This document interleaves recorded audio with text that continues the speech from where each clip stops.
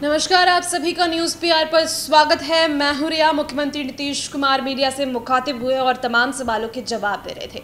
उसी बीच उनसे कुछ सवाल कंगना रनौत पर भी किए गए, जिसमें उन्होंने साफ़ तौर से कह दिया कि इस चीज़ को मैं नोटिस में नहीं लेता हूँ, लेकिन उसी में कुछ बात को घोलते मिलते हुए उन्होंने तेजस्वी यादव को फिर से हल्के में लेते हुए उन पर निशाना साध दिया। उन्होंने कहा कि कौन आता है, जाता है, कब आता, जाता है और मेरा नाम लेकर पब्लिसिटी लेता है और इन तमाम आरोप जो हैं उन्होंने तेजस्वी यादव पर इनडायरेक्टली लगाया। उनका बिना नाम लेते हुए उन्होंने यह सब कुछ तेजस्वी यादव को कह दिया कि उन कुछ लोगों को तो देखिए कि मेरा नाम लेकर पब्लिसिटी पाते हैं और हम पर कुछ भी आए साए बोलकर पब्लिसिटी गेन करने की कोशिश करते हैं ताकि वो बने रहें हर जगह।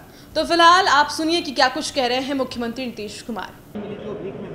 अब उस सब का कोई मतलब है? हमको तो आश, हमको तो आश्चर्य लगता है कि ऐसे लोगों की बात को भी कोई पब्लिश कैसे किया? है इसकी पब्लिसिटी कोई कैसे किया है? ये कोई इम्पोर्टेंस है सब चीज़ का? कोई मतलब है क्या? अब व्यक्ति के बारे में तो आप कह ही नहीं सकते कि कौन क्या बोलेगा। वैसे चीज़ों पर कोई नोटिस लेना चाहिए, कोई ध्यान भी देना चाहिए।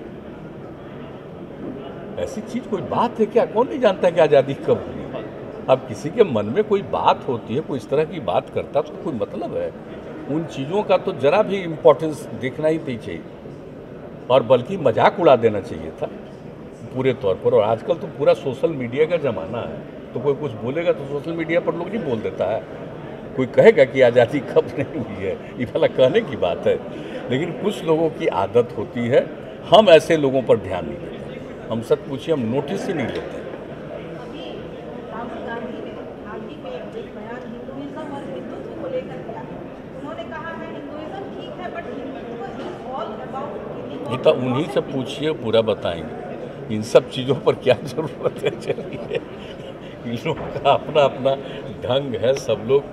अच्छा एक बात तो देख रहे हैं ना कि लोग कुछ बोल करके चर्चा में बना रहना चाहते काम में रुचि नहीं। हम लोगों को तो भाई काम में रुचि। जनता की सेवा करना ही हमारा धर्म। हम उसी में लगे रहते हैं। और कुछ लोगों को, मैं कोई एक व्यक्ति विशेष की बात हम नहीं कर रहे। ज़्यादातर लोगों के मन में होता है कुछ बयानबाजी करते रहो पब्लिसिटी मिलते रहे।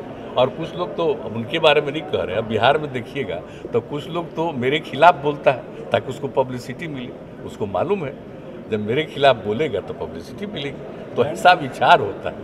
ही हाँ।